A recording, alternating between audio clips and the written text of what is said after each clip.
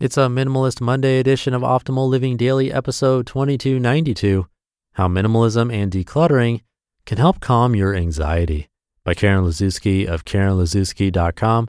And I'm Justin Malik. Happy Monday and welcome to the old podcast, the OLD podcast, Optimal Living Daily, where I read to you like a big ongoing audiobook from many different authors. And we're going to get right to it as we optimize your life. How Minimalism and Decluttering Can Help Calm Your Anxiety by Karen Liszewski of KarenLiszewski.com.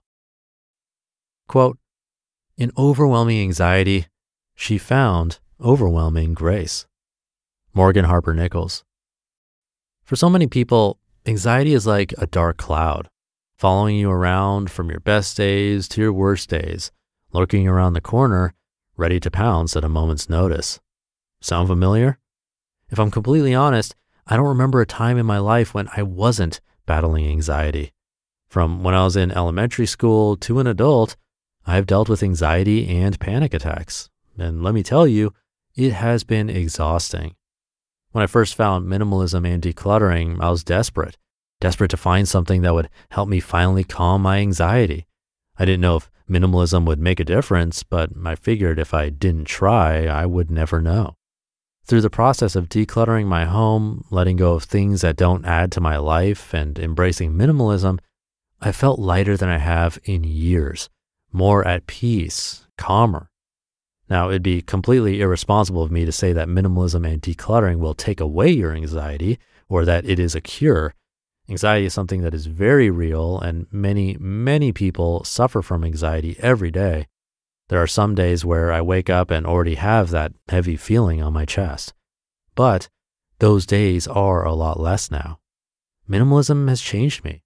It has changed my life and it has helped me experience more good days than bad. If you're like me and find yourself grasping at straws for a way to calm your anxiety, I want to share with you a few ways minimalism and decluttering can help. Number one, minimalism helps you clear your mind. There have been so many studies done that have shown that clutter literally causes anxiety. When you look around your home and see stuff everywhere, your mind begins to go on overdrive. When your mind is cluttered, so are your emotions, and you'll have a harder time relaxing. This in turn causes feelings of anxiety. The less stuff you have around you, the more you're able to clear your mind. As you clear your mind, you'll begin to see a decrease in your anxiety. Number two, Minimalism will give you gratitude. Through the journey of minimalism, you are looking at the things that you own and only holding on what brings you joy or adds something to your life. You're deep diving into your surroundings and taking the focus off of material possessions. One of the amazing side effects of this practice is gratitude gratitude for the things that you do have, gratitude for the little things in life, like the sunshine, a warm breeze, or time spent with loved ones, gratitude for this beautiful life. And with that gratitude comes a renewed mindset and a feeling of contentment. This will reduce your anxiety. Number three, minimalism allows you to relax more. Quite simply, the less you have, the less you need to do, the less you need to clean and pick up, the less you need to straighten and organize, and more time to relax, more time to spend laughing and playing, more time to read a good book or meditate. Practicing mindfulness and slowing down are amazing ways to reduce anxiety. And with minimalism, you'll have more time to do these things. Number four, minimalism does not keep up with the Joneses.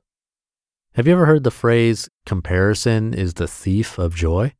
It's one of my favorite sayings and something I remind myself on an almost daily basis. In the world that we live in, it is so easy to feel like we have to keep up with the trends, be able to afford to put our kids in activities and buy that expensive house. And when you can't do those things, you can start to feel anxious and worthless. Minimalism does not compare. Minimalism says that what you own does not define you. Stop feeling like you need to keep up and then feeling less than if you can't. Realize that who you are is more important than what you own. Number five, minimalism reduces spending and financial stress.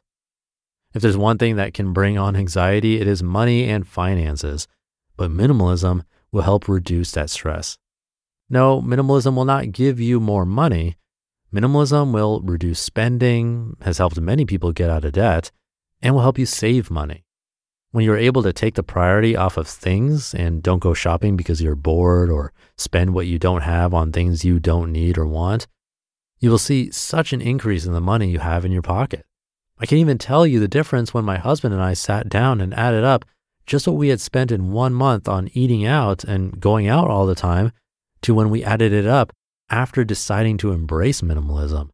Our paychecks didn't increase, but we've been able to start paying off our debt. So much of your financial stress and anxiety will go away when you cut your spending with minimalism. And number six, minimalism will help you be more intentional and present in the moment. For me, anxiety has always been a vicious cycle.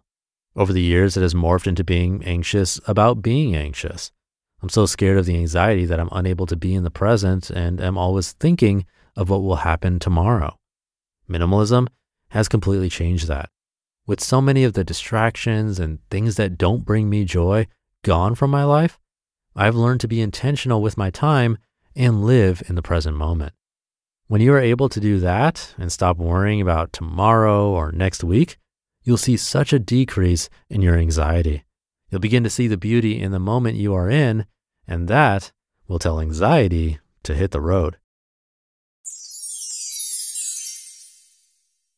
You just listened to the post titled, How Minimalism and Decluttering Can Help Calm Your Anxiety by Karen Liszewski of KarenLiszewski.com.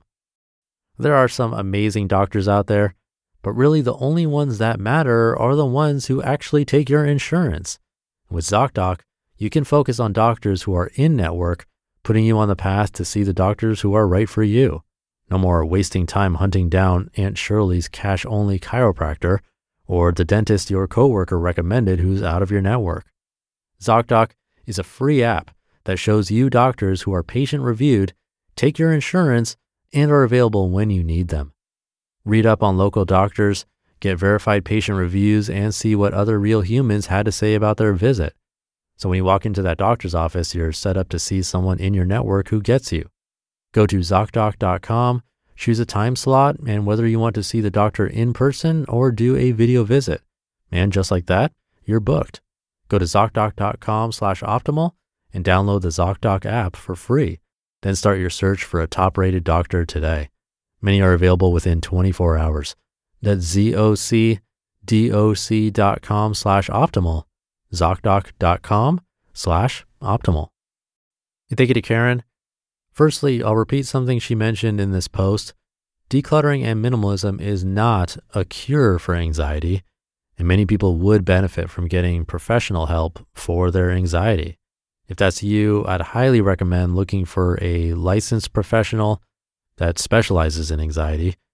That said, this can be a nice tool and addition to your life to make things a bit less chaotic day to day. Personally, I'm one of those angry cleaner types. If something's bothering me, I'll just start cleaning. It's kind of weird. Maybe it's therapeutic or something. I'm not sure. But what I do know is that when things are cluttered around my house, my brain feels a lot more cluttered. It's like I can't keep ideas, thoughts, really anything straight in my head if everything around me is disorganized. And that doesn't mean I have to be perfectly organized and minimal all the time. That's definitely not the case. But that just tidying up one area, like my desk, for example, can help me focus, stay on track, and feel less anxiety. So I can definitely relate and would encourage anyone with anxiety or not to take this to heart. Find a spot in your place that could use some decluttering or minimizing, maybe even one countertop, and see how you feel after. I'd be surprised if there isn't a little sigh of relief. Let me know how it goes. Well, we're going to continue the topic of anxiety tomorrow, actually. So stay tuned for that. Have a great rest of your day and start to your week. Thank you for listening every day and optimizing your life with me. And I'll see you tomorrow where your optimal life awaits.